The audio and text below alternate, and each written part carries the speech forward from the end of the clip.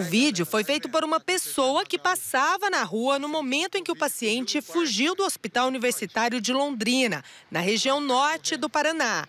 Nas imagens, é possível ver o homem correndo e sendo seguido por profissionais da saúde que faziam atendimento. O segundo vídeo, feito pela mesma pessoa, mostra o momento em que o paciente volta para o hospital, mas agora deitado em uma maca e rodeado por enfermeiros.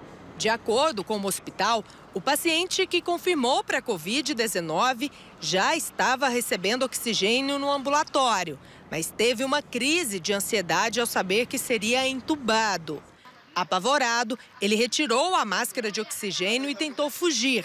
Foi quando o flagrante foi registrado.